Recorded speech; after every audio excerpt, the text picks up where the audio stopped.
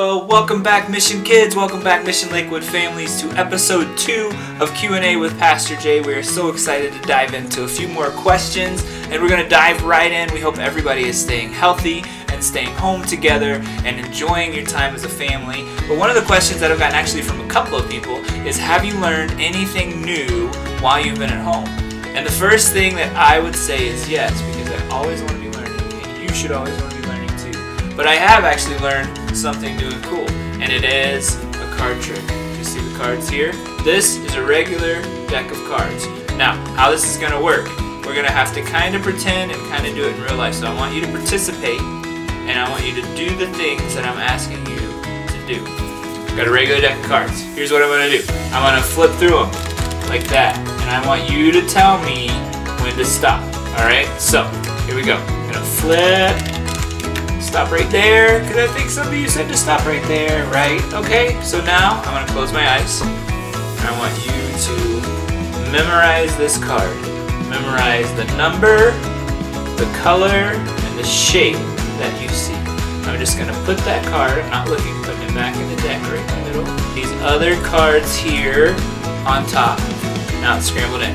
Now I'm going to scramble the cards one more time. And as I'm scrambling, I want you to think in your brain of that card that you saw.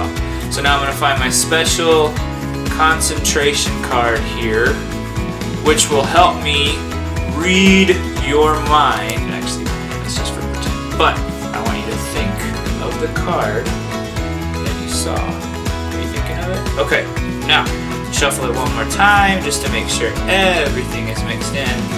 And now, here's the tricky part. Here's where I need your help. I'm going to flip through it, and I want you to tell me again, make sure you can see it, when to stop. Ready? So flip in, tell me when to stop, right there. Alright, so, we have the deck of cards here. You are trusting that where you told me to stop, your card is going to be on top. And your card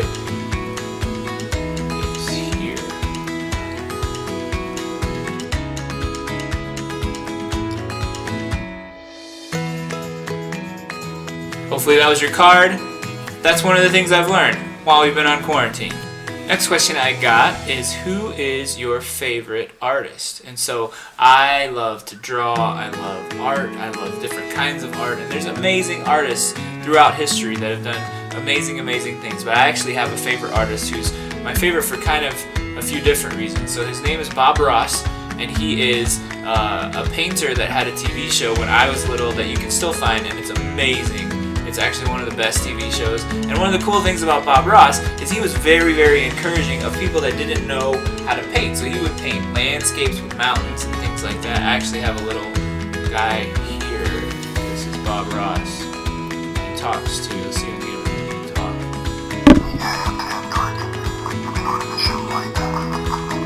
You have to have dark in order to show light, just like in life, which is true because the sin and the, the bad things in the world help us to see the bestness, the betterness of God, of His love, of His goodness, of choosing God's way.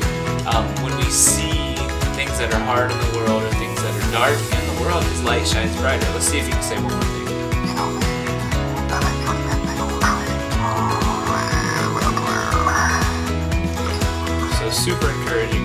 Have even a little book here, paintings by Bob Ross. It's on my desk.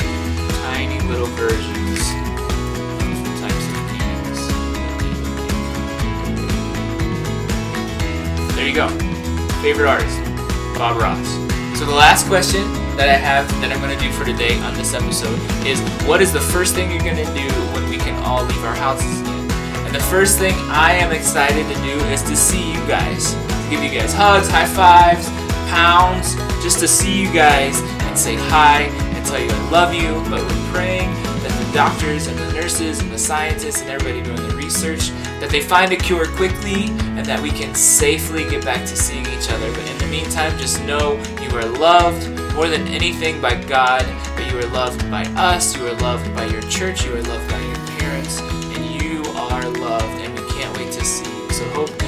have a great week. We'll see you again for more Q&A with Pastor J.